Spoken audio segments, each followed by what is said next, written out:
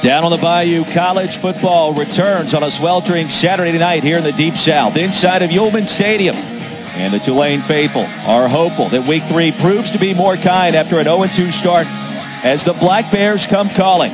It's Maine and the Green Wave, and it's headed your way next.